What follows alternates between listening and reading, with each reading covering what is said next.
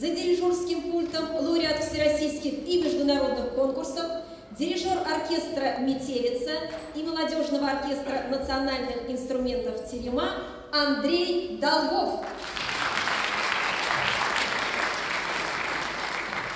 Лерой Андерсон, Плинк, Планк, Плунк.